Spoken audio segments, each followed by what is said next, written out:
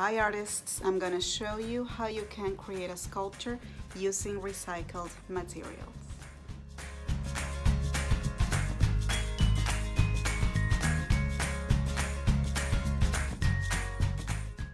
Here are the materials you'll use.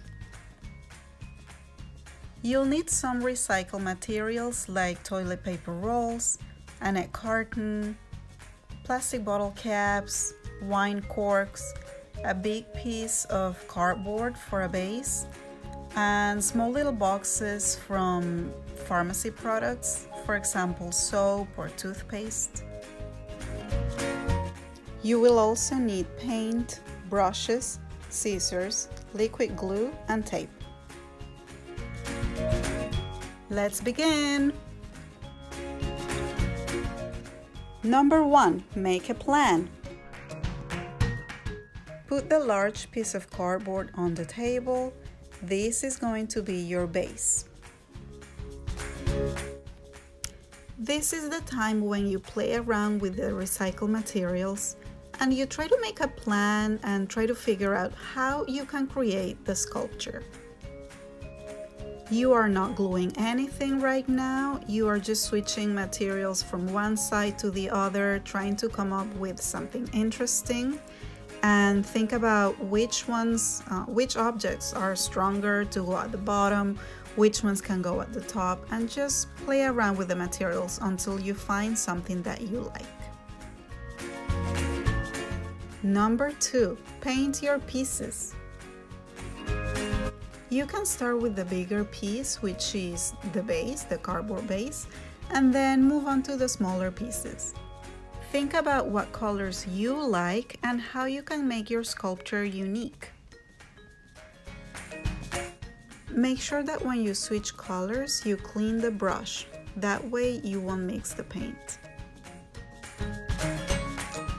This part is a lot of fun, but it can get a little bit messy. Make sure that you have paper towels to wipe yourselves, wipe your brushes or your table.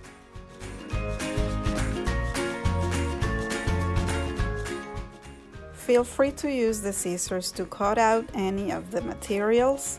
For example, I use my scissors here to cut out the egg carton and use that middle part as one of my pieces.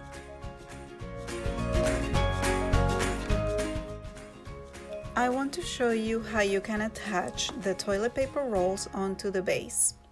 You need to create tabs and you will use your scissors to make little cuts at the bottom of the roll, like so.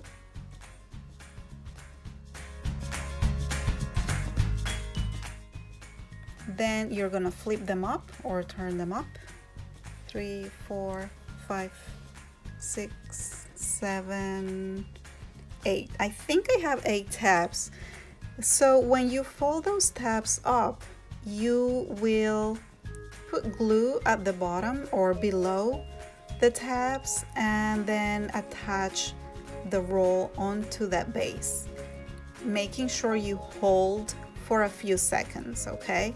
Otherwise it will not stay. Number three glue your pieces Start by gluing the bigger pieces that go attached to the base and then move on to the smaller pieces.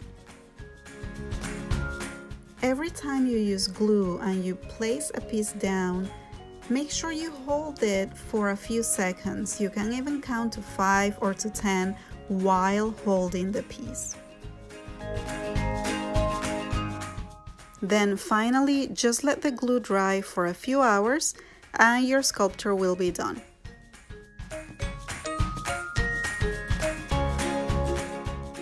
Remember, a sculpture is art that you can see from every side.